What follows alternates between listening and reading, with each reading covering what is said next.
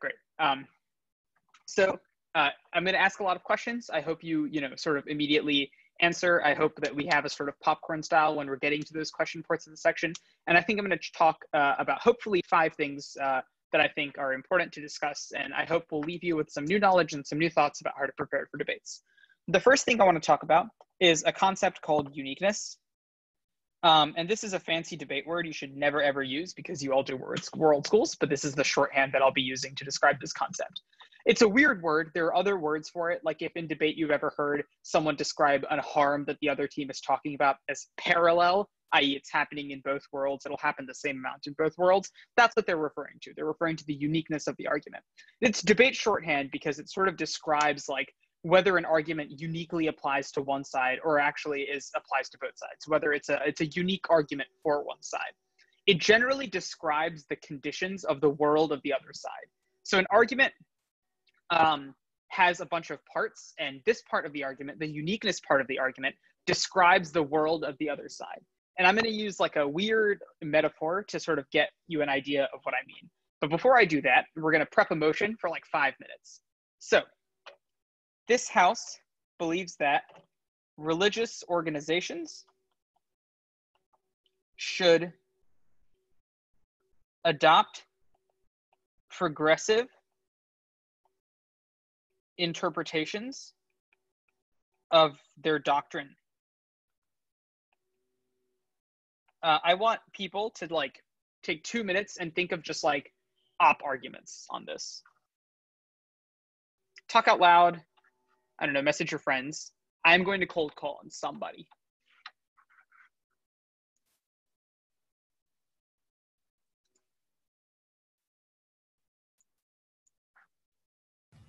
You said proper up. Op. Okay, thank you. Yeah. Uh, does anyone want to ask me what this motion means?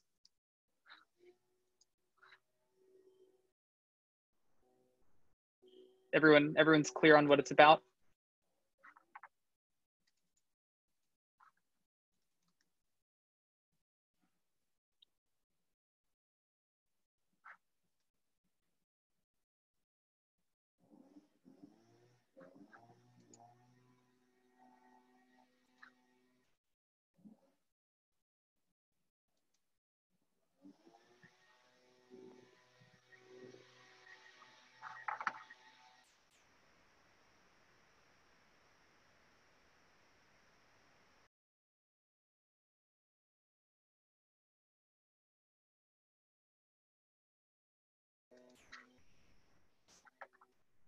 All right. Let's see. Um, Brendan, would you like to give me an example of a potential op argument? It doesn't have to be more than a sentence. I can't hear Sorry. you. Yeah, sorry. Probably something to do with religious freedom. Like, as a matter of principle, we should never force religious institutions to change their doctrine unless they want to. Okay, I agree with that. Uh, I think a potential problem with that op argument is that um, we're just describing what religious organizations should do. It's not a mandate. It's like a question oh, that, right, like whether they should or shouldn't do it. yeah, yeah, So I yeah. think this the- house the- believes. Yeah. Um, but let's see. Uh, Max, could I have an Op argument? Uh, sure. This. I don't know how applicable this would be, uh, but I feel like adopting a narrative of encouraging uh, progressive interpretations of doctrines when there's very few bright lines regarding what constitutes being progressive.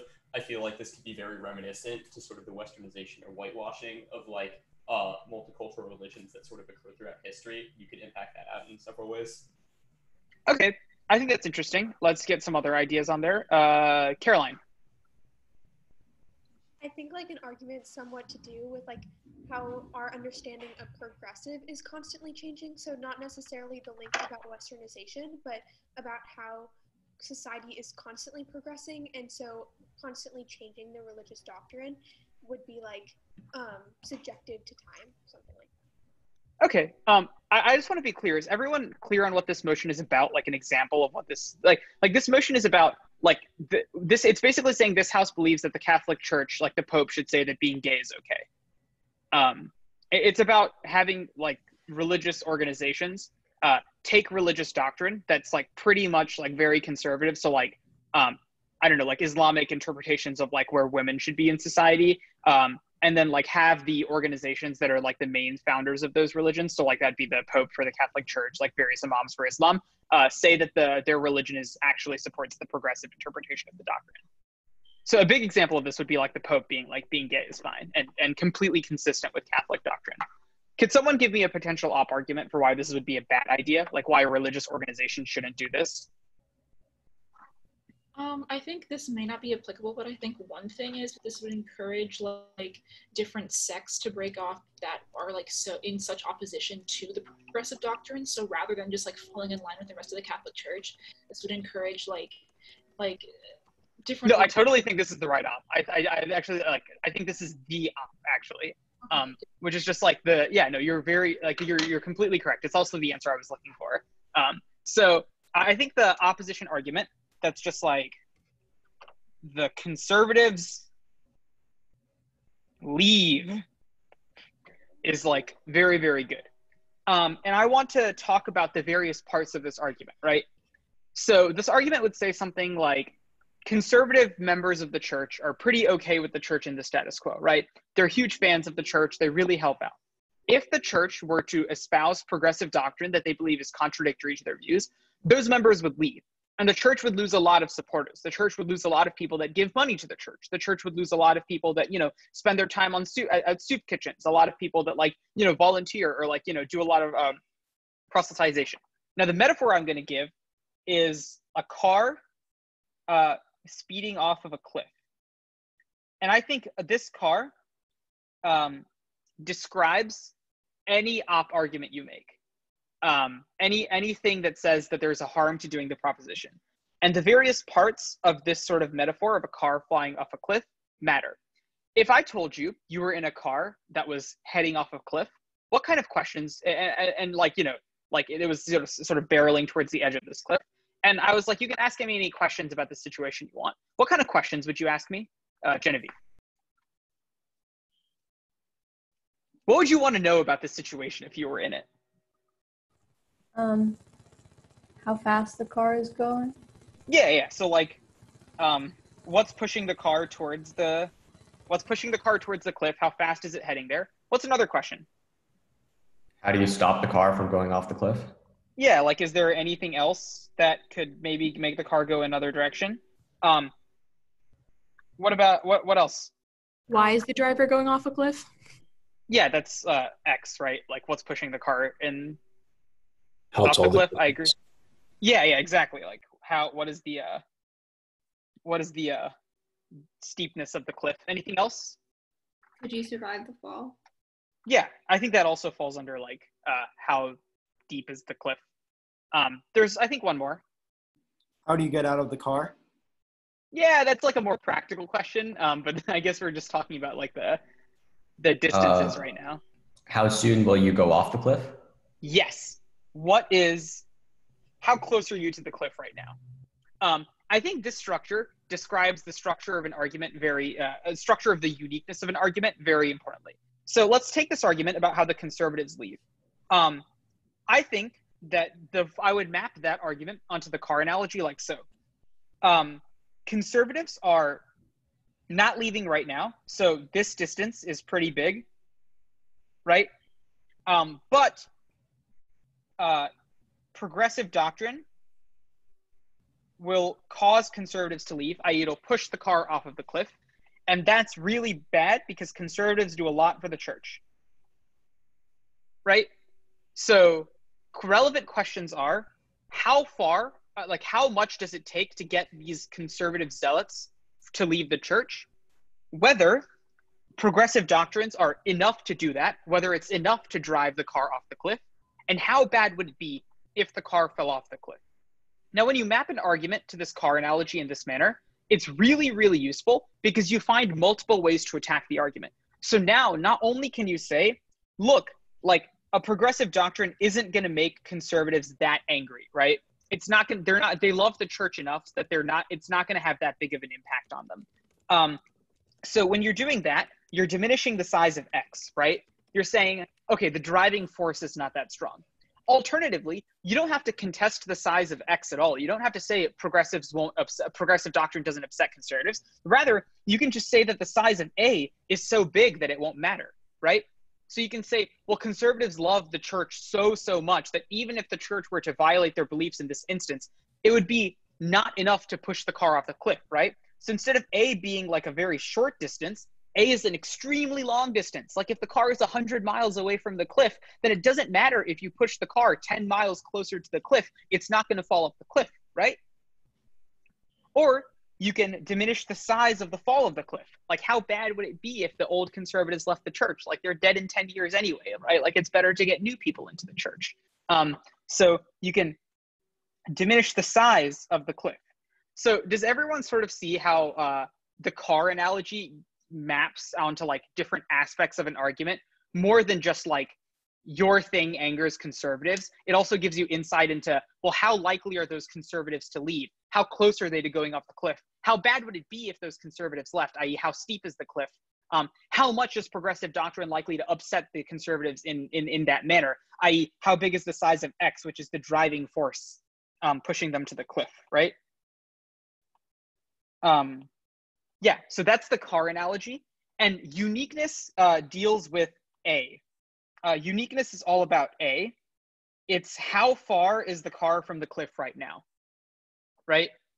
Um, so if you were to say, like, uh, another way you could potentially attack this argument is by saying, well, that's like uh, already a done deal, right? Like churches are like more scientific now, like they're not like super like doctriny anyway, um, and they're generally sort of softly progressive anyway. So that means that instead of A being 100 miles long, it's like negative five miles long. The car has already fallen off the cliff. So it doesn't matter because in their world, the car's already gone off the cliff. So it doesn't matter if we make the car speed up a little anyway, the car's already going to fall off the cliff, right? So when you address the uniqueness of an argument, you're talking about uh, questions that concern A, i.e., the distance between the car and the cliff.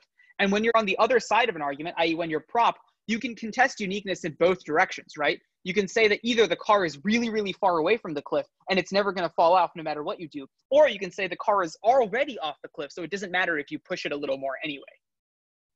So that's how you can use this car analogy um, to describe op arguments.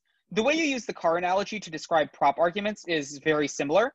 Um, uh, can anyone actually guess how you would use the? Uh, so let's come up with a prop argument first. What's a good prop argument on this motion? Um, anyone? It helps universalize more faiths because people might Yeah. feel included. Yeah, I, I think, and and it, and it sort of like gets like a specific new group of people into the church. Who who who might that possibly be? The youth. Yeah, yeah, you get young people, right? Um, and remember how I said that the car analogy is sort of reversed uh, when you're talking about it for a prop argument? Anyone want to take a shot at mapping this like we bring the youth into the church as a prop argument onto the car?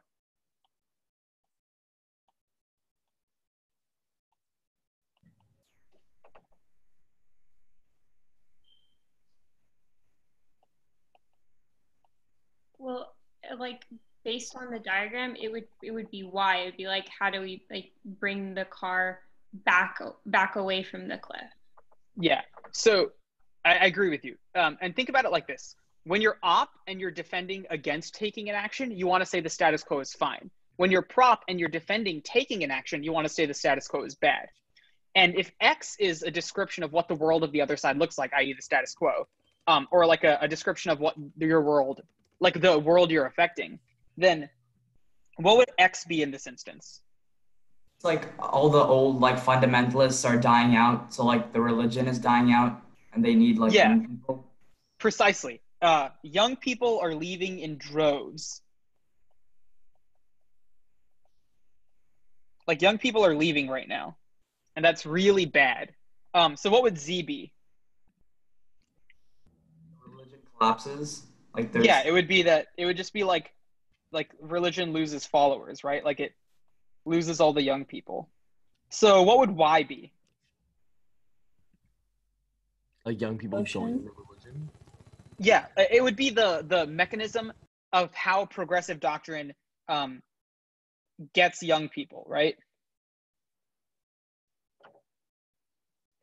Now, if you're op and you're attacking this argument, you can attack the argument again from multiple directions. You can say, you can even contest Z and you can say, well, young people don't matter that much to the church anyway. Like they're not going to like go out and like proselytize, and they're not going to dedicate their lives to the church. The impact of young people isn't as big.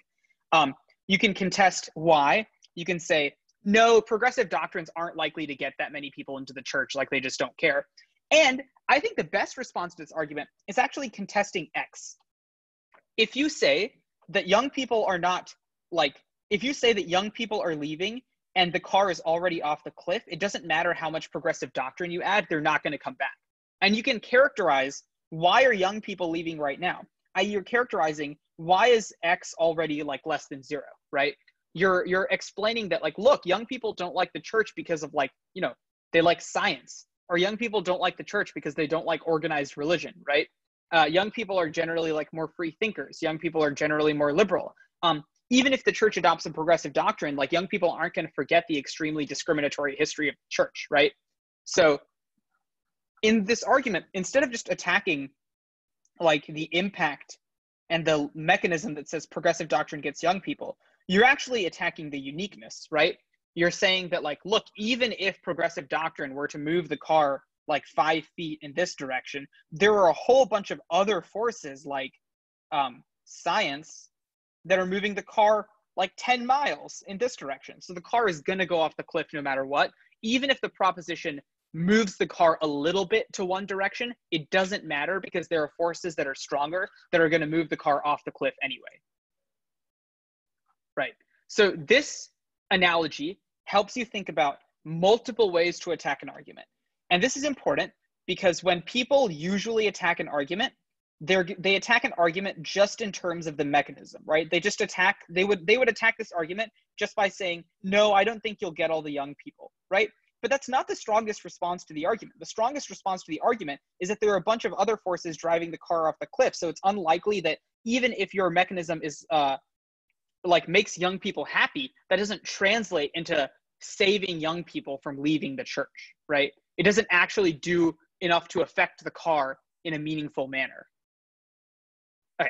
So that's the car analogy. In other formats, this concept is called uniqueness. Uh, some of you who have done other formats is, are probably already familiar with it, but I think that it's important for people in a world schools format to like be aware that this exists, and this is what other like uh, other formats call it because it's like like yeah other formats have come up with a jargon for it but it's a it's a good argumentative concept right there's there's nothing to be lost by thinking about arguments in multiple uh, dimensions and even if you'll never use the word uniqueness in your life which you never ever ever should um, it's important that in your head you're thinking about the uniqueness of your other of your opponent's arguments, right? And you're thinking about the uniqueness in both directions. You're thinking, is the car already too far away from the cliff that it doesn't matter that you push the car towards the cliff a little bit? Or is the car already off of the cliff so it doesn't matter whether you try to save it or not, right?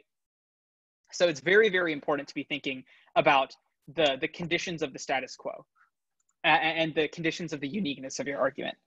Does anyone have any questions about that?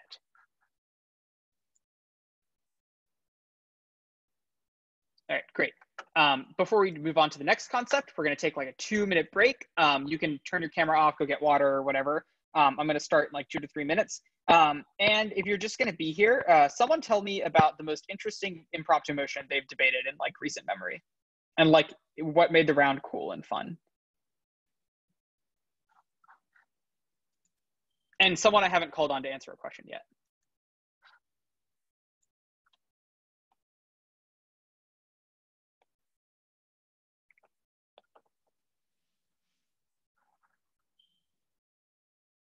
no one's had a fun round in months.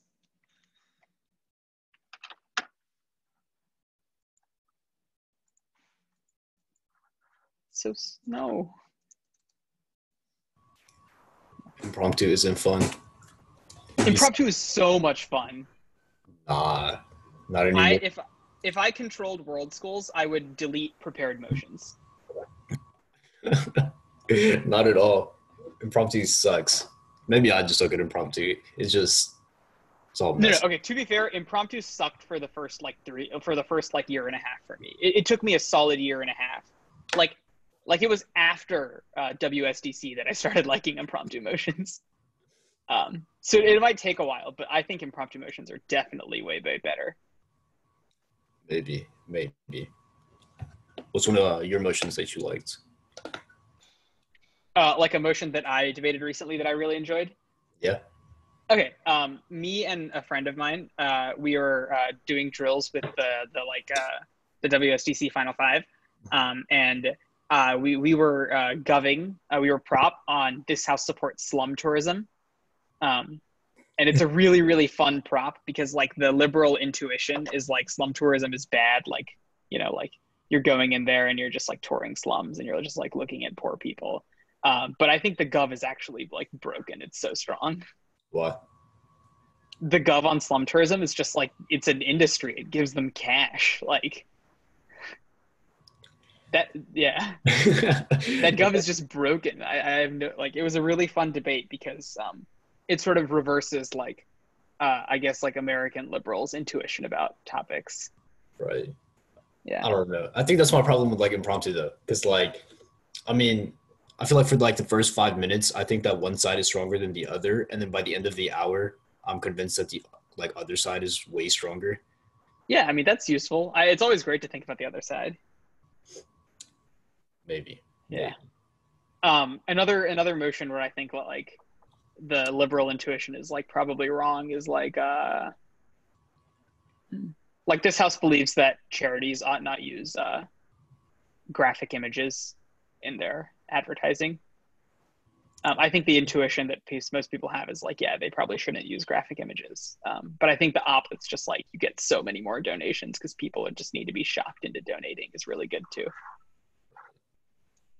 I had a round uh, a couple months ago about like how immigrants uh, change the uh, should change their uh, native lang- like their native name to a more westernized name. Um, oh yeah, what- assimilation motions. Yeah, yeah, yeah. Basically, yeah. and I think in that case, the liberal intuition was also kind of wrong, especially in the round that we had.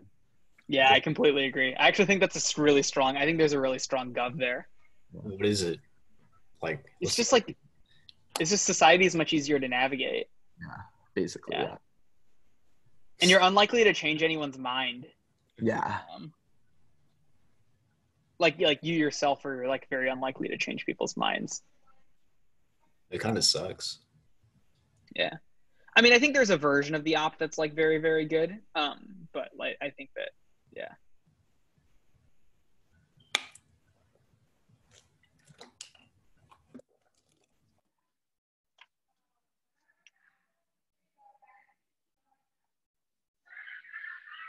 Oh, uh, one that I uh, always found fun was uh, talking about whether we should break up Amazon or break up big tech. Dude, I think the the the leftists are being like they're nuts on this one. Like, you should obviously not break up big tech. Such a bad idea. It's that's a fun motion. I think that's like Yeah. one of the best motions. Like I think we had that this week, this year. Yeah. Yeah, it's a good debate. All right, uh, I'm gonna restart. Uh, I I think everyone's hopefully back. Um, yeah, I'm gonna see if the cameras are on. I mean, it doesn't matter. You don't have to, but yeah, I think enough people are sort of here. Okay, I'm gonna go get started. The second thing I want to chat about is a concept called fiat, um, and uh, typically fiat is taught in this really weird way, which is like if a motion is like uh, this house uh, believes that the U.S. should adopt single payer um, healthcare.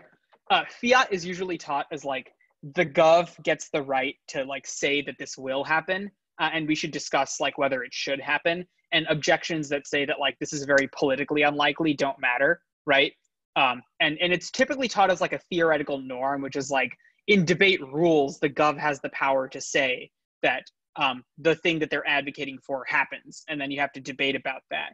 Um, and and the, the question of whether it will happen is not relevant um, because otherwise the negative, uh, because the opposition will always just win on like, well, it's not going to happen, right? That's absurd. It's not a debate rule. It literally stems from words in the motion. If the word should means that the debate is about whether single payer should or should not happen, not about whether it will happen. Fiat is not this like theoretical rule. It's just a description of the is ought fallacy. like if I was like, you shouldn't murder, and someone was like, well, that's not going to stop me. Um, does anyone think that's a relevant objection to the phrase "you shouldn't murder"? Right? Like if we were debating about whether you should murder or not, and someone was like, "Well, that's not going to stop anybody," um, that doesn't matter, right? Because the words of the in the in the motion "you shouldn't murder" are clearly about the the normative desirability of one side or the other, right? So I just wanted to break that from the get go, which is that fiat is not this like rule or this power the government gets. People describe it as like the government gets fiat power to be able to implement their side of the motion. Yeah, it's not like a power. It's not this magic wand that like is this some like theoretical rule of the game. If you're debating this topic, then the government obviously gets to defend a world in which the United States does it or like should like you know should do it and the opposition defends a world in which the United States shouldn't do it, right? So I think that like you should understand fiat is coming from the words in the topics, particularly the word like should or the word ought to, right? Because it, it, it def- describes an obligation to do something. So that's my like thing on fiat uh, in terms of like it's a it, it just it stems from the words in the motion. The next thing I wanted to discuss is opposition fiat or counter models. Um, can anyone give me a quick stab at like what a counter model is? Isn't it more or less just a counterplan? So, like the opposition advocacy for what we should do in place of the model? Yep, it's what the opposition says we should do instead. Um, and typically, some people are like, you know, oppositions don't get to have a counter model or stuff, something like that. It's very silly. Um, and that's because, again, none of these things involve a theoretical discussion of the rules. They all just stem from relevant questions about the motion. The reason the opposition gets a counter model is because of a concept known as opportunity cost which is if I do something and in doing that, I foreclose another thing that could have been beneficial, um, then the, oh boy, did my, my, my Zoom just cut out on my iPad? It's okay, I think I'm back. Um, then uh, in doing so, I like literally, I, I foreclose another good opportunity, then benefits to that opportunity are a, are a, you know, a reason or a harm to voting for the proposition, right? So and the other reason counter models are good is because they demonstrate that the proposition is not necessary to resolve the harms that they're talking about. So if the proposition says, you know, like a lot of people don't have healthcare, right? Um, and uh, sorry, I'm relogging into the Zoom on my iPad. Um, yeah, uh, if the proposition says like a lot of people don't have healthcare, the opposition definitely gets to say, well, like that doesn't mean single payer is necessary, right? Like that means that like the government should provide healthcare to those who need it, but it doesn't mean that it has to mandate everybody provide healthcare, right? And that's important because in order to prove that the government should provide single payer healthcare, the government has the burden of proving that everyone needs to be mandated to purchase healthcare from the government, right? So the government side or the, the proposition side has to prove why single payer healthcare is necessary, not just why healthcare should be improved. So that's why countermodels are good is because it tests like actually it tests whether the government policy is actually necessary for the thing that uh, people are sort of discussing ought to happen, right? So motion is single payer. Now, what is opposition fiat or an opposition countermodel limited by? I believe that the opposition can't defend and or advocate for something that takes more political capital than the proposition because otherwise it's not an opportunity cost, right? So if the proposition says that we have enough political capital to establish single payer and single payer ought to happen, I think the opposition very reasonably gets to suggest that like, hey, we should have like some version of government healthcare, but not complete single payer, right? And all of those questions become relevant to testing whether single payer is good or bad, right? It becomes relevant to testing whether there's some opportunity cost to having single payer healthcare. Um, but that doesn't mean that like so that's why it, it would um, that's why like you get the same amount of political capital on the opposition to use for your counter model. But if the motion was like we should give Africa a seat on the UN Security Council, I think it'd be illegitimate to suggest that like no, we shouldn't have a UN in the first place, right? On the opposition. Like while that technically is mutually exclusive with the proposition case, it's not something that ha- it represents the, an opportunity cost to doing the proposition, right? There's no reason giving Africa a seat on the permanent uh, on the permanent security council forecloses like some future where we magically have enough political capital to literally abolish the UN, right? Like the debate isn't happening in the same world um, or in the same like terms of a trade-off of political capital. So in, in simple terms, uh, fiat just means you're discussing whether something should happen and opposition fiat isn't some like special theoretical magic rule. It's just you testing whether something should happen, right? Like you're just testing whether the proposition arguments are actually reasons to vote for the proposition side. You're just testing whether there's an opportunity cost to doing the proposition. So I, I, think that like shifting your understandings of these concepts from like a weird theoretical model where people are like, well, these are the rules of fiat. The government gets fiat power, um, which are phrases you'll hear people say. Uh, that's very silly. In my opinion, it just means you're debating a should statement.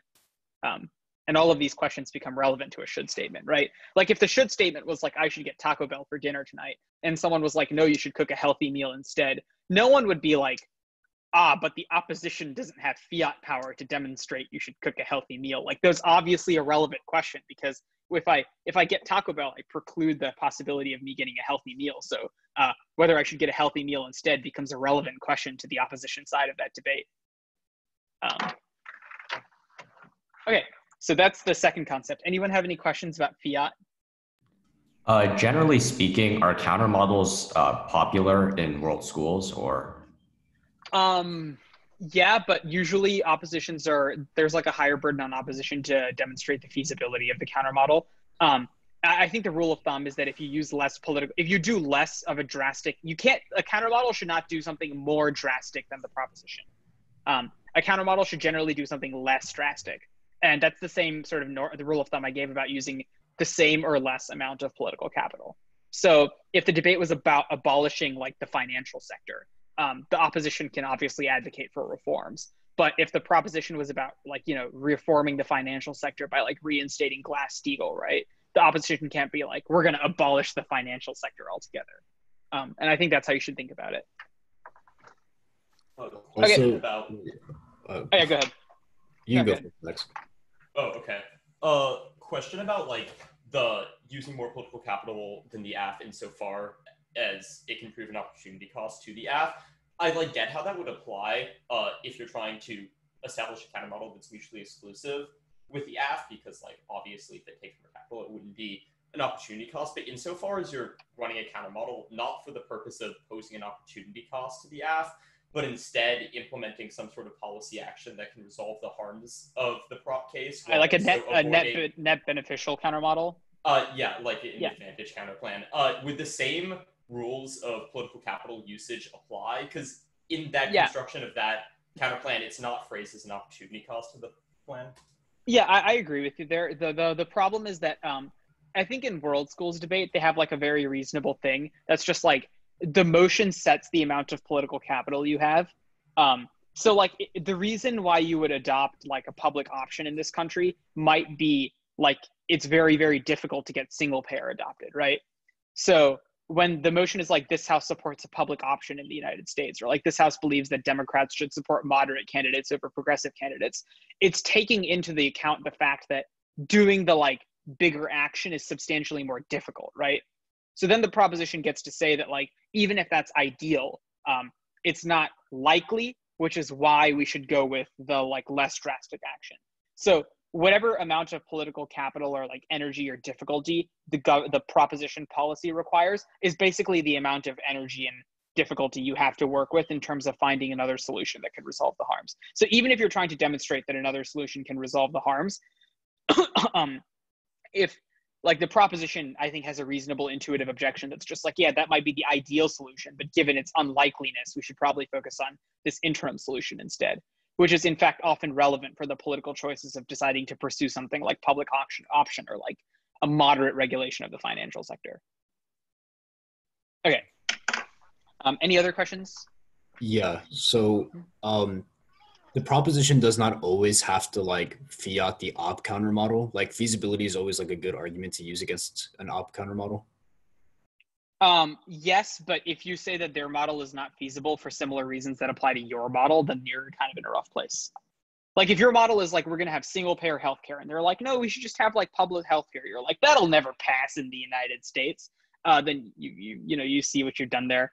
Um, so it, it, feasibility becomes a relevant question when they're um, when they're using substantially more political capital than you, um, and then then it becomes a relevant question to like, well, the reason we should do our policies because theirs is much much harder.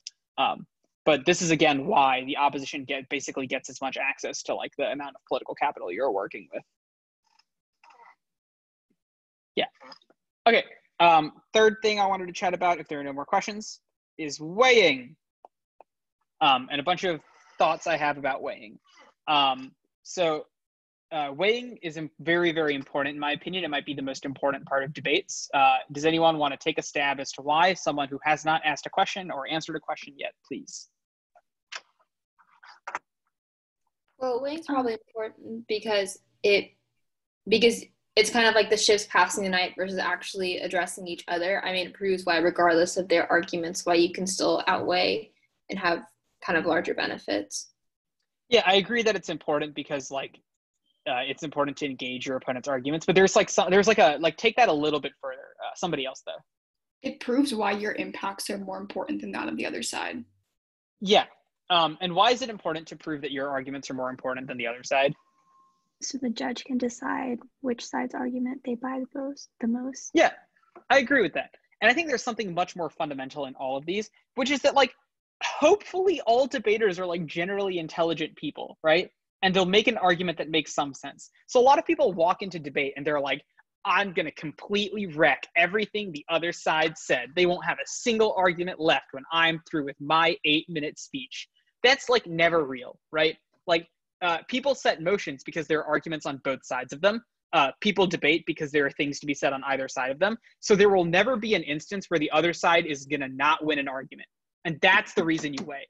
The other side will in almost every single instance win a substantial objection to your side.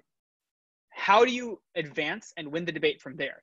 Debates, in my opinion, are in fact less about whether the objection exists in the first place or whether you've adequately refuted the objection, but rather weighing between multiple reasons to do or do not enact, uh, do or don't do an action. Because actions have competing reasons to do them. That's why they're set as motions. That's why they're debatable in the first place. So the real thing that makes weighing super important is that like there's never going to be a world in which there isn't an opposition argument or a, or a proposition argument right there's never going to be a world in which there isn't a reasonable reason to vote for the other side so what do you do from there you have to outweigh it you have to say that your reason is more important and i think that like 70% of debate is about saying why the reason you think like why the reason you say is more important against the motion is more important than the reason they bring for the motion right? And i think that's like the vast majority of debate because of this like general concept that like you know things have multiple sides to them and people are smart and they'll make arguments like like you know shocker like your opponents are going to say smart things like you know be prepared for that. Um, so how uh, that's my principle behind weighing which is everyone is going to be right sometime. So the most important guiding principle which i'll call the like zeroth principle of weighing is that you have to be reasonable when you're doing it um, you have to like accurately assess the risk of your side. So a lot of times in debate, when you're debating, you like lie, right? Like you're like, uh, like you'll make an argument you don't necessarily believe in. You'll say that their argument isn't very strong, even though it is. Um, and you'll like try to explain why their like generally true argument is actually false. And that's good because that's what debate is about. Um, but when you're weighing, I think you should be very, very reasonable about the risk of their argument, right? Like you have to be, you have to be telling the truth about how much of the argument they're winning in the debate, and that's important because only then will your weighing ever be uh, like useful, right? If you're weighing and you're presuming that their argument has no risk whatsoever, then your weighing is not useful. Um, your weighing is only useful if it takes into account the fact that they're winning some portion of their argument, right? Your weighing is only useful if you're being honest about how much of their argument you're winning. All right, the first way to weigh. See what I did there? Yeah. Um, uh, it's a very simple formula. It's probability multiplied by magnitude. Um, it's uh, just like um, my impact is more probable than theirs, um, and my impact is bigger than theirs, and therefore it is a bigger impact. I think pretty much every reason one our impact could be bigger than another impact um, is tied back into probability or magnitude. so some people may say like my impact outweighs on time frame. It happens faster right? Um, that matters because it makes the impact more probable. Some people might say my impact matters because it's more long term right? It lasts longer and it affects more people. That sounds like a reason the magnitude of their impact is bigger so all reasons why one impact might be bigger than the other side's impact come down to the simple formula of probability times magnitude and it should be what you what should what you should be using to weigh uh, any impact against each other you don't want to say probability times magnitude in your speech, but it's sort of the formula you want to have in your head when you're thinking about why one impact would be bigger than the other. And this is like very vanilla weighing. Like the like like this is like if you have already weighed an argument before in a speech, you've likely done it by using this formula. I'm just sort of like making it very explicit, right? Um, but this is like a the generally the way people think about weighing. Um, the second, and now I'm going to get into some like more interesting ways to weigh. Um, the second way to weigh is mechanisms against other mechanisms. So the first way to weigh I discussed uh, typically involves two impacts, right? Like you're weighing your impact against their impact. What happens when you're trying to weigh the same impact, right? Like both sides are trying to access the same impact. And let's go back to the progressive doctrines motion that we talked about earlier and talk about the prop argument that says that, you know, young people, we get young people to join the church and then the op argument, which says you drive away like older conservatives from the church. You're talking about the same impact, right? Which is uh, church membership. How would you compare your side versus their side? What is a good way to weigh the prop against the op?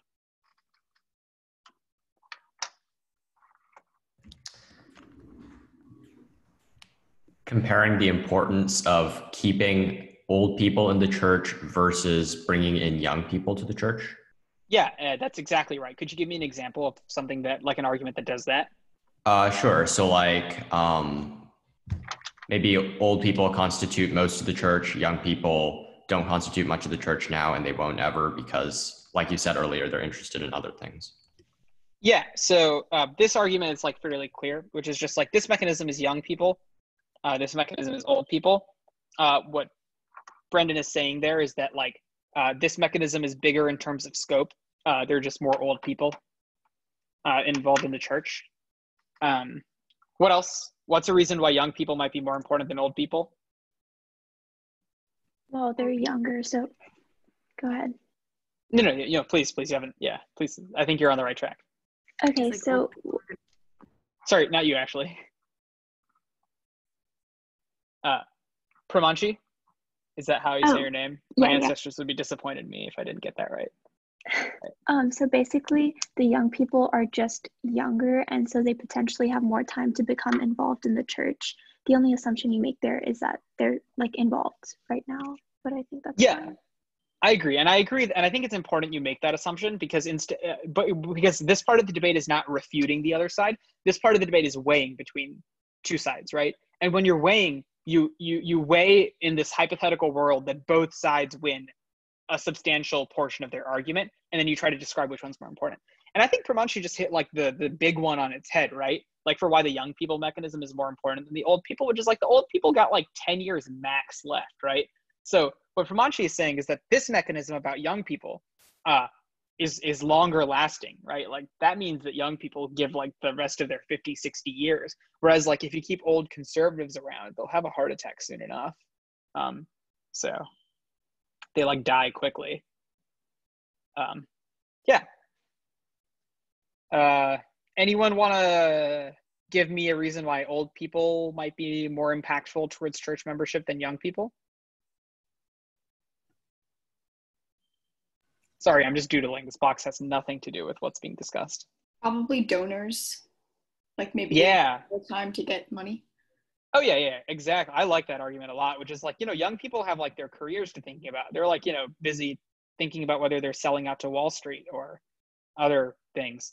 Um, but old people got all the time in the world and they they're likely to give lots of money, they're likely to volunteer more. So even if like the prop gets a higher number of young people, in terms of the qualitative so even if the prop outweighs on quantity of young people they get, the qualitative impact of every single old person you keep in the church is bigger. Does that make does you see how these weighing arguments, how you to compare these arguments even if the other side wins a good risk of theirs. Uh, I think we've covered a lot of the good reasons. I think uh, Hannah and Pramanchi had some excellent arguments, and those were, I think, the best weighing arguments for each side. Um, so that sort of is the second way to weigh. Um, now I want to chat about the third way to weigh. And this one is my favorite because it is the most underutilized, and it's also underutilized in all the other events I do. Um, and it makes me sad, so I want it, everyone to utilize it more. Um, uh, before I move on, um, let's see, who am I going to cold call on? Uh, Vinayak, uh, what were the first two ways to weigh? Uh, the first one was probability times magnitude. The second one was uh, weighing one mechanism versus another mechanism. Hell yeah! Give me a give me a virtual high five. Cool. Um, all right. The third way to weigh uh, is uh, interact your impacts. This is really important because nobody ever thinks about this, right? Like people weigh their impacts against each other in a vacuum but impacts influence other impacts, right? Like your impacts interact with theirs. Um, and I'm going to walk through this with an example, and we're going to prep another motion because I love incorporating drills into lectures since it keeps y'all awake. Um, and my voice gets annoying after a while. Uh, this house supports a carbon tax.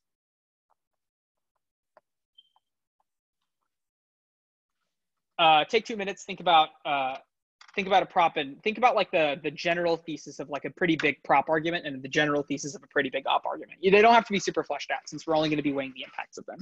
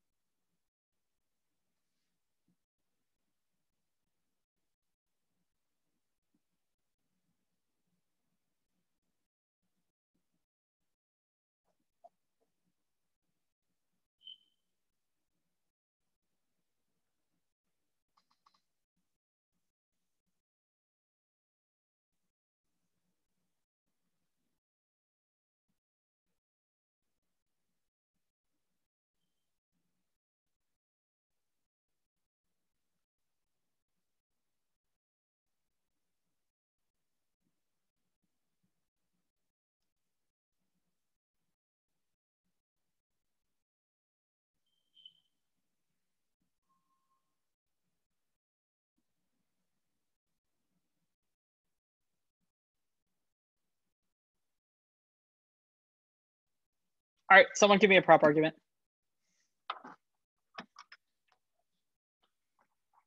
Um, you could argue that with carbon tax, companies will be incentivized to invest in renewables, which then helps the environment. That's like the very basic prop ground.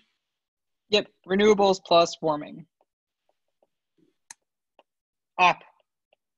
Um, and then the most basic op argument I think that I've seen is that it stifles growth of less developed nations. Yeah, I, I think that's just like a economy argument, and it's both it's both about like less developed nations and about developed nations, right? Like it just messes with the economy. There's less economic growth. Like companies lose money. Economic growth is important. You don't want to wreck the economy. Great. Um, so let me. And this one's super fun, and I I love the like reveal here. Um, okay, so the prop impact is warming and the op impact is the economy. So someone give me a reason why the warming outweighs the economy. You can, you can use any of the reasons. You uh, so you could you should probably not use mechanism versus mechanism because we're talking about two different impacts here. So probability times magnitude is the default, right? So someone want to tell me why warming outweighs the economy? I'm sorry, I cut someone off, but I wanted to say that before they started. You can say without helping the environment, companies will also lose money, the costs associated with climate change. Yeah, that's true. I like that a lot. Uh, what's a reason why another reason why warming is like bigger or more likely than harming the economy? Um, because things like the economy can always be repaid in the future, i.e., debt can always be repaid, losses can always be repaid, but any degradation to the environment can never ever be repaid in the future. Anything else? Um, it's just more probable because it's already happening. Like the, the environment is already Yeah. I just think that like it's just so much bigger is the like big one, right? Like just just like think about global warming and carbon emissions than like, you know, like oh no, GDP fell below 2% growth in the fourth quarter, right? Like uh I I can't imagine someone thinking one of those is more important than the other.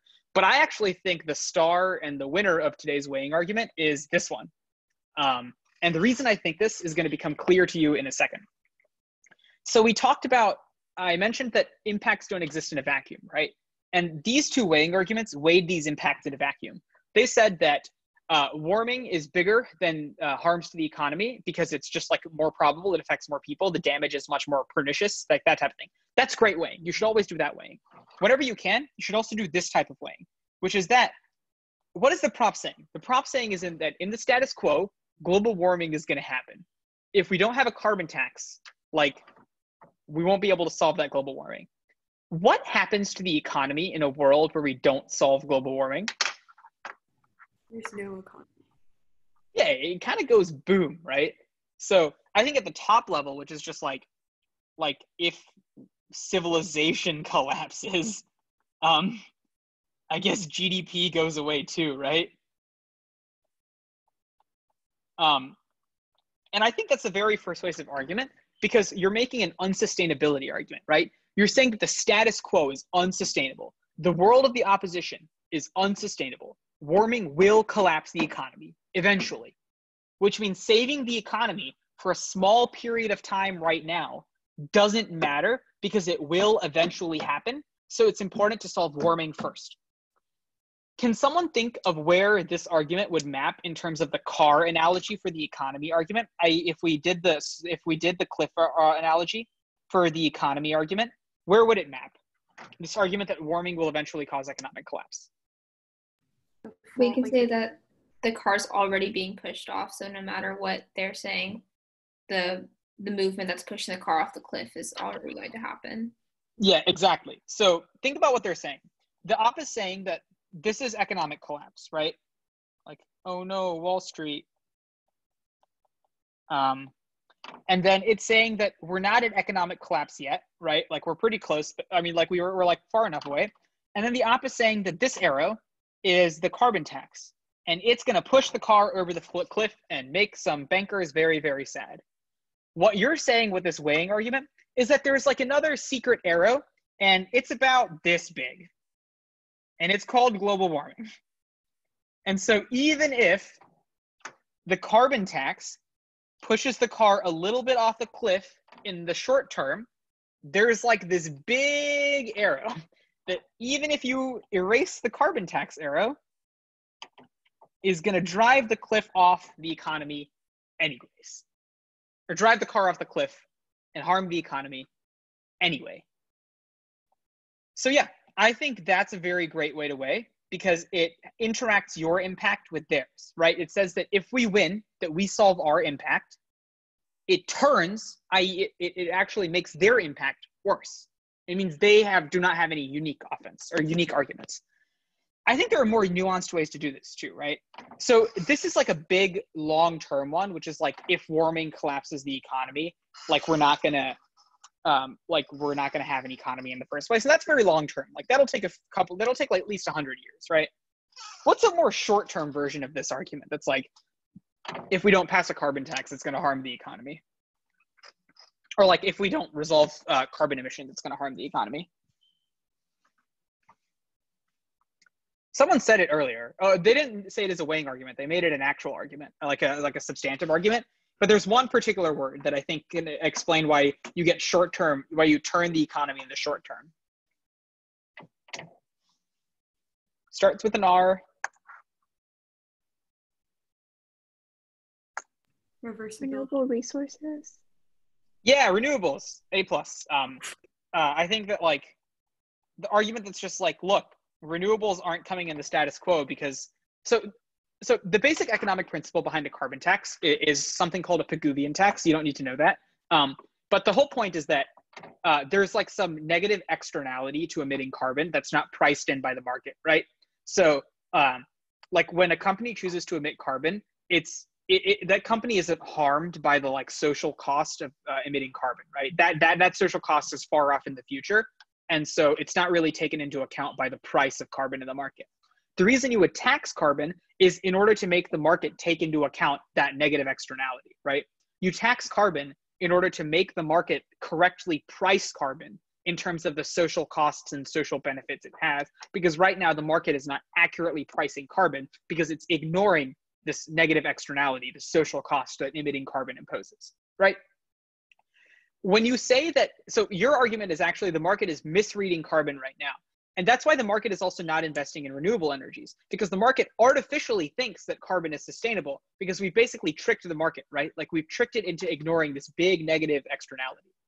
What you're saying when you say we get renewable growth is you're saying you're actually correcting the market, right? Like if you don't have like if we don't adequately invest in renewable energy soon enough, like we're going to run out of oil, right? We're going to run out of natural gas. We're going to run out of all of all of this other stuff. And guess what happens to the the the like fossil fuel company stock prices then?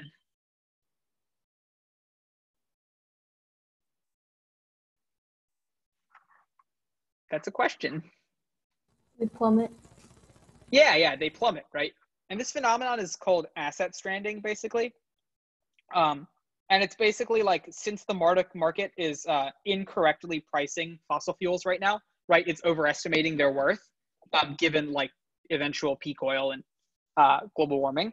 Um, there are a bunch of people that have investments in fossil fuel companies whose investments are also overpriced.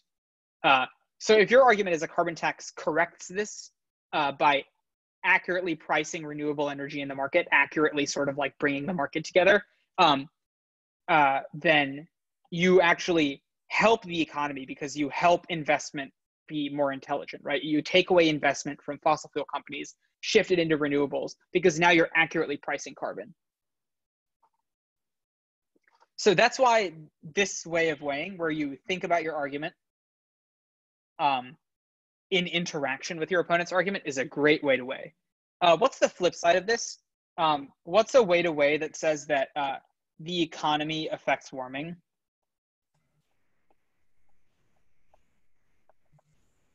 Well, without a strong economy, oh, sorry, go ahead.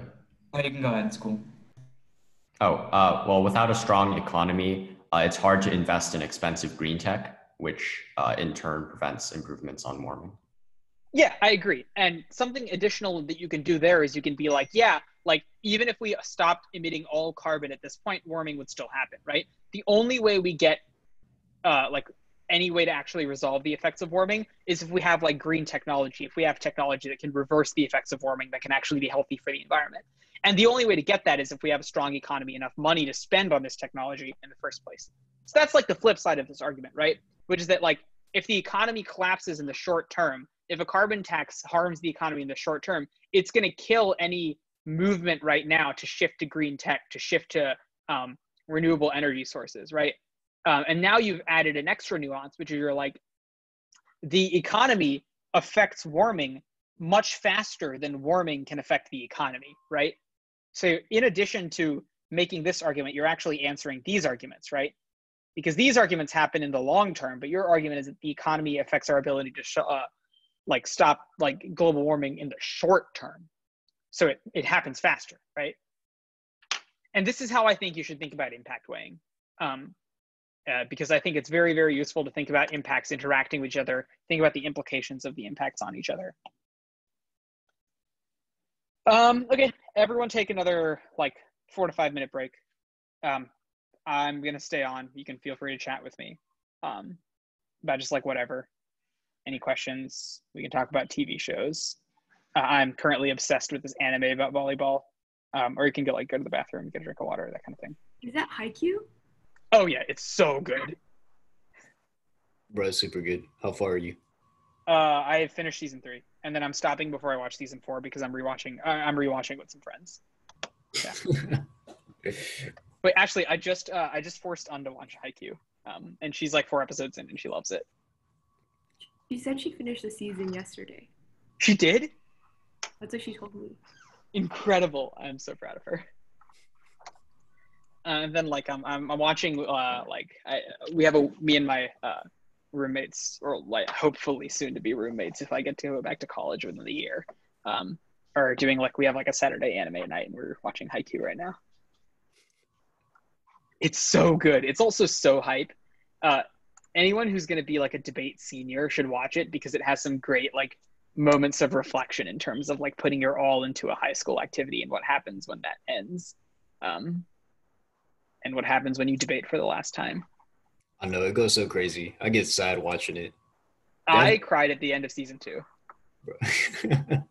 um, one sec i i'm gonna send you have you seen the end you've seen the end of season two right when uh Aoba Johsai and say like like when oikawa loses and his career ends Oh yeah, that was the funniest thing ever. It was so sad, but it was also like I don't know. Yeah, it was so so sad, wasn't it? Like it was genuinely just so emotional.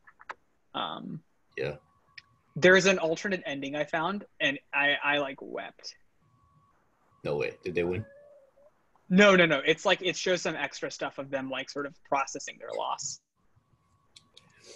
I forgot how they lost again. How did they lose? Who dropped the ball? Uh, um, uh, Hinata hit it a couple blockers, um, and Oh, yeah, they like yeah. Let me find this link.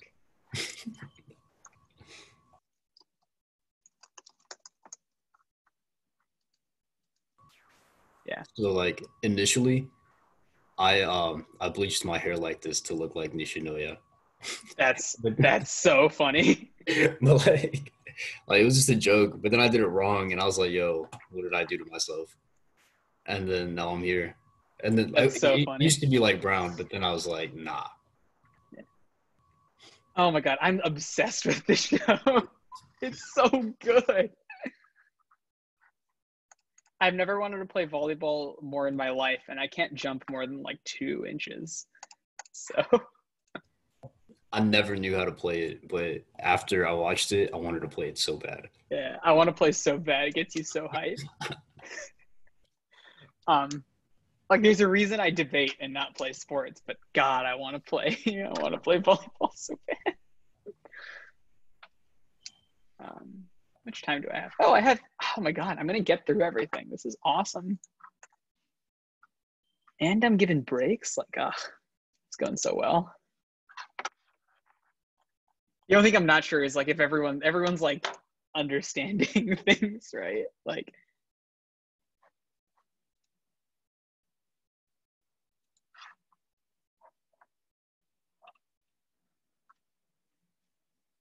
Are people finding this useful? Like, or am I just like saying just really basic things to y'all, and y'all are like, "Well, duh, Ishan." Um, That's cool. I like Okay. it. Bro, how do you know what they're saying? It has no subs. oh, uh, hit subtitles on the. Uh, Oh, I got you. I got you. yeah, it gets good around like one minute forty-five.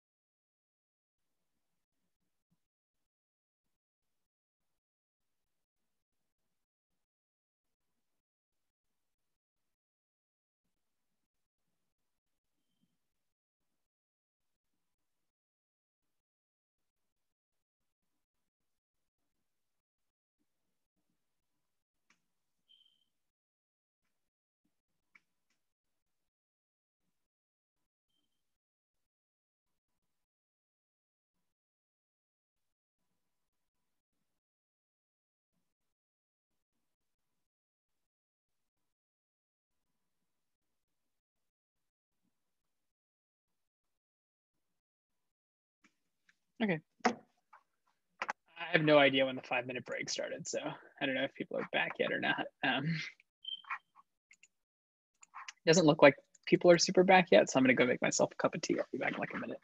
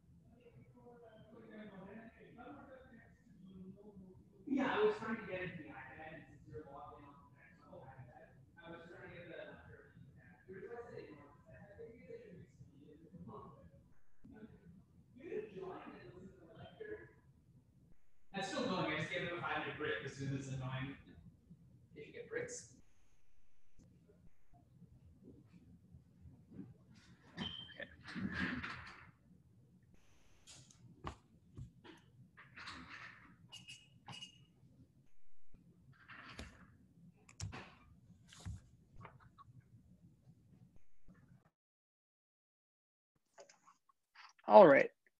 Are enough people back yet? I see some videos. Yeah, I think this should be fine. Whatever. It's been more than five minutes, I think. I have no idea though. Um, cool. I hope you appreciated my art.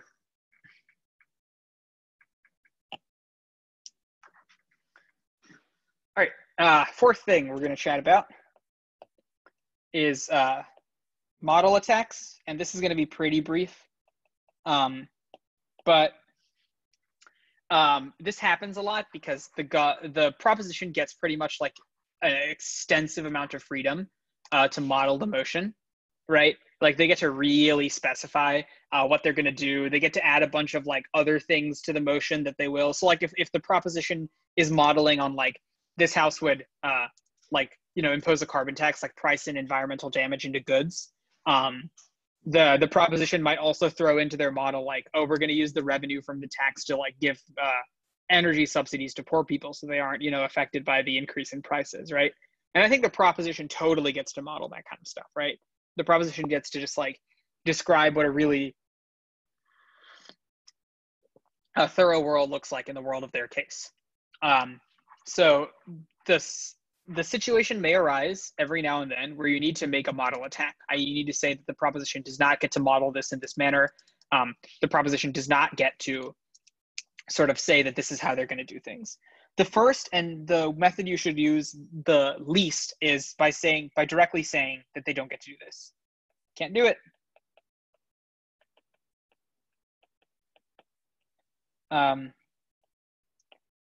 and this is the method you should use the least because world schools judges really dislike procedural debates and they want you to engage with proposition's best ground. So even in a world where you think proposition has modeled something very, very weirdly, you should always say like, all right, they're not going to be allowed to do this, but even if they do, we can engage. An example that I think is important is that there was a motion at NSDA about how like uh, the the house regretted the, this house regrets the myth or this house regrets the idea that like going to college is key to success or going to higher education is key to success. And some team tried to be like trade schools are an example of higher education, which is not true. Like trade schools are something you do instead of going to higher education. um, or you just like immediately get a job after graduating high school.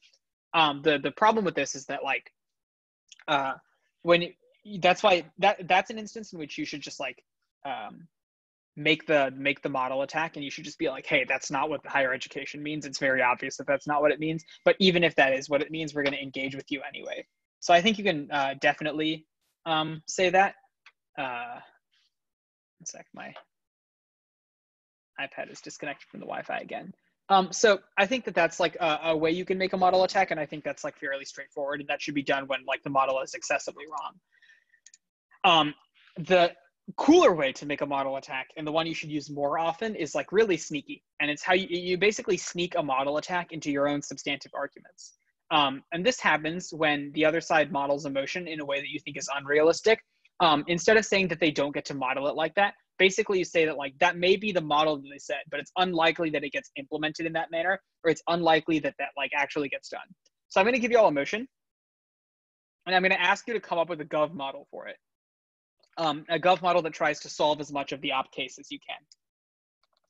The motion that is before the House today is as follows. This House supports racial profiling. You have to model a proposition.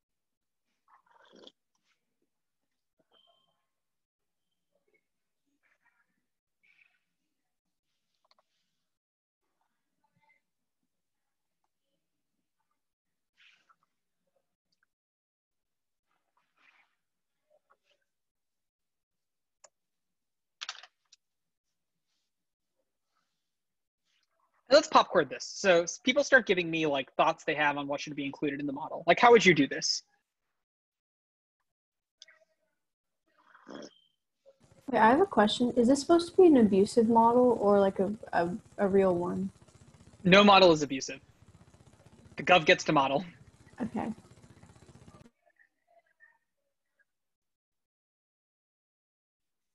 Someone, someone's got to have like one thing, right? Like one thing they would say if they were trying to defend this. You, you could say um, racial profiling against young white men who tend to be school because they tend to be school shooters. Like that could be Yeah. the route that you went down. Um, yeah, I agree with that. So just, I mean, like, I don't think so. This is an example of where I think there is an abusive model. You don't get to say you're only going to use it against white people, right? But you do get to say this is a thing that will likely happen. So at the top, you can be just like, look, when we say racial profiling, here's what we mean. We're going to use someone's race background and uh, like you know economic status as data points in uh, context with other data points to sort of determine likelihood of committing a crime and likelihood of being a victim of a crime. So we're going to say something around the lines of like, look, we understand that young white men are more likely to like end up doing like like young white people in Germany who are in bereft economic conditions are more likely to fall into Nazi gangs. We're never going to preemptively arrest or search someone because of our racial model, but we are going to like, you know, make sure they're not joining Nazi gangs. We would be able to investigate that. We'll use it as a backdrop in terms of like other things, like maybe potentially getting a warrant, that type of thing. So that's what we're talking about. We're just using data on race, uh, on people's race, racial background, to sort of like support what they're likely to do. Um, and we're likely, it- it's, it's just sort of like predictive data science. In the same way, we know that some people are more likely to be victims of crimes more than other people. For example, women are more likely to be like subject to like, you know, sexual violence crimes. We're going to use that as a, we're going to use that as a data set uh, in, in order to like predict where like intimate partner violence could be happening in a community. And instead of like preemptively, like, and when we say preemptively, like when we say racial profiling, it doesn't mean we have to arrest someone. That means we could provide communities of color and low income communities with like more resources to deal with things like intimate partner violence. Um, we could provide them with more resources to deal with things like uh, community crime, that type of thing. So everyone sort of like see where this type of modeling is going. Um, and then, you know, sometimes we will police areas harder uh, because we have statistical proof that they're more likely to commit crime. But that's like, we're not going to be like, th- that's just a, that's a fact. That is a reality of the world. Like, why is that wrong? Anyone have other things they throw in the model here? Uh, I had an idea. It's definitely, definitely not the heart of the motion. But given that profiling is the use, like racial profiling is the use of like a racial data point to predict behavior and performance, uh, could this house support racial profiling in university admissions uh, to consider like basically affirmative action, but using Yeah. one's race as a data point for systemic discrimination that can be used to, uh, in conjunction with other data points like testing, to predict performance in comparison to other applicants? Yeah, uh, but I don't think you can say it in terms of colleges. I think you have to say it in terms like this motion is clearly set in a criminal justice type fashion. So you can say that like we'll use affirmative action style, um, like like the, I think the info slide something said something about criminal justice or something like that. But uh, and this motion is generally about criminal justice. But you could definitely say something around the lines of like, look, if we racial profile, then we get to do actual racial impact assessment, right? Like we get to see if a judge is assigning one race versus another race like harder like harsher sentences if we keep track of like people's races while we you know uh, when they get processed through our criminal justice system what's another thing you might want to add to this model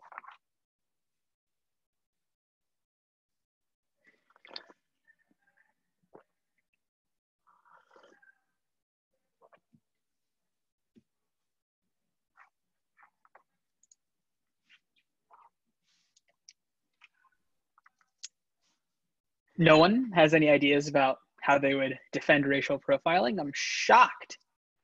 Um, seriously i'm looking for just like one other thing you might want to add to this model. It can be a fleshing out of something that i like briefly said in my little rant. Maybe like distribution of economic benefits because like if you profile like based off of race you could say like one ethnicity or race is disproportionately harmed in the economy so therefore like x amount of welfare or x amount of government subsidies should go towards that group Yeah, and I think that that can be done in just terms of community policing, right? So, like for example, uh, we're gonna like protect stores, like you know, we're gonna protect like community centers and like we're gonna protect stores and build community centers in areas that have a higher likelihood of committing crime. Um, and race is often a data point in terms of this type of analysis, right?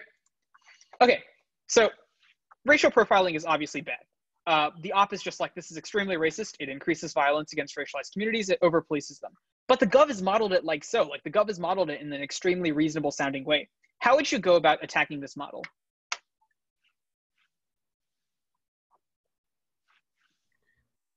You can probably say something like, um, this is what their intent is, but what happens in reality is that it can overly be like abused on individuals who uh, may want to just not conform to that type of standard that you set in the mall.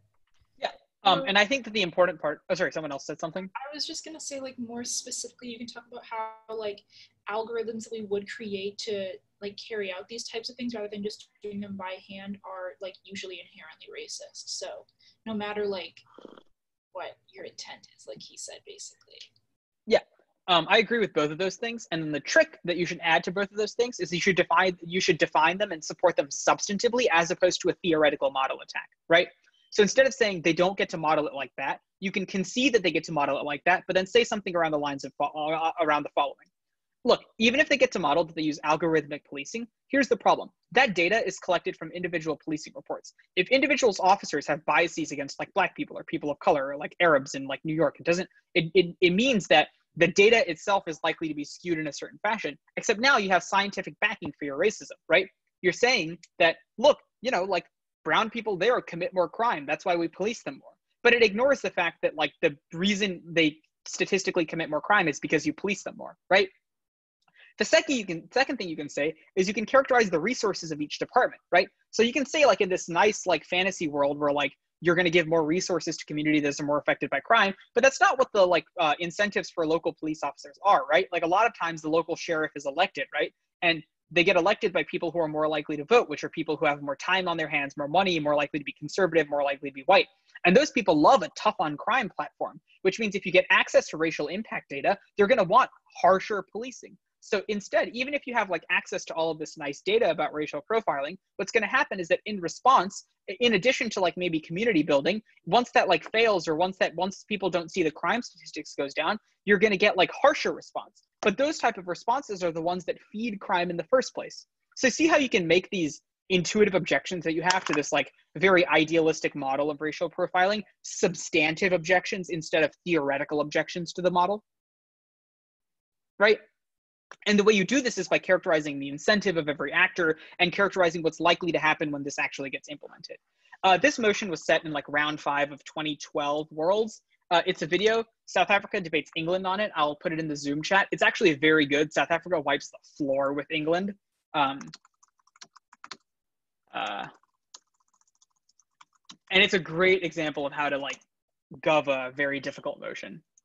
Um, yeah. I think everyone should watch the prime minister's speech, the first prop speech uh, after the. Uh, if, if it is optional, you don't have to. Um, but like once the like sort of lecture ends in like I don't know six minutes, uh, you should definitely give it a shot. Uh, I think it's a very very good speech of how to model something and a very very good speech of how to approach a like a a pretty rough motion for your side. Um, the debate community has grown in ways that like you'll never have to defend racial profiling. Like this was a while back, um, but uh, like I think this is like a great motion to drill with because this this prop one speech is phenomenal. Like I was listening to it and I was like, boy, I sh- am I wrong about racial profiling? Like what? Um, so I think that those type of speeches are always very good. And uh, this prime minister speech, he's like this like snotty white guy, but he's like pretty cool. Um, like he's like one of the yeah, like it's a good speech. Um, you should give it a shot if you want to think about models and defending the hard side of motions more specifically. Okay, the very last thing I'm going to chat about is just brief tip on characterizing arguments. So in this lecture, uh, we drilled a lot of motions. We came up with arguments for a lot of motions, like the religious doctrines motion, the racial profiling motion, carbon tax, etc. The last thing I'm going to leave you with, and the fifth thing I wanted to talk about, was that every time you make an argument in prep, you should be using this type of popcorn style of talking about it with your uh, teammates. And the only question you should ever ask in prep when you hear an argument is why.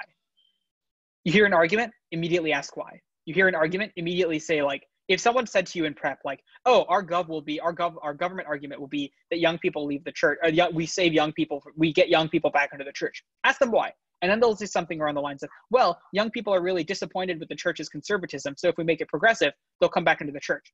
Why? Well, you know, young people are searching, like a lot of young people, even though some of them like science, some young people are like searching for a spiritual spot in their lives to fill. You know, young people go through trauma a lot and it's important for them to find a place where they can have a community. So they're looking for that community. They just don't want it to be racist and sexist. Why? Right? And that process of just always asking why. So now instead of like young people are liberal and we bring them back into the church because we make the church more liberal, you have a very nuanced argument about how young people are searching for community in their lives and their local communities, they have a stereotype of, of them in their head that they're, you know, conservative and not progressive. But if they change to progressive doctrine, young people are likely to find that more palatable, right? So now what you've done is you've constructed a more nuanced argument that already assumes the immediate objection, which is like, well, young people are going away for other reasons because they like science and don't like religion, right? So when you make an argument in the first speech and you've made it robust enough to assume the other side's objection, uh, what happens is when the other side raises that objection, uh, it immediately sounds shallow because your argument has already been constructed in a manner that explicitly assumes the objection and is built around it. So that's my final tip. In prep, you should always ask why, and you should do it as often as you can. And you should spend the majority of your time asking yourself why and building your arguments in a significantly more nuanced manner. And this applies to every motion we've drilled uh, so far. So this concludes like Ishan's miscellaneous thoughts on debate and arguments lecture, which is what I think it should have been titled. Um, I hope you found it useful. If you have feedback for me, you know, like uh, put it in the Zoom chat, email me on my like GDS email. I'll put that in the chat if you want. Um, and uh, like you're free to go to lunch uh, but if you also want to chat for like a few minutes before i eat lunch that's also cool if you have thoughts for me if you have questions um, if you wanted to let me know you liked the lecture um, uh, that kind of thing uh, like you're also welcome to do that but you're free to go I hope you enjoyed it. Thank you so much. Thank you. Yeah, of course. Thank you.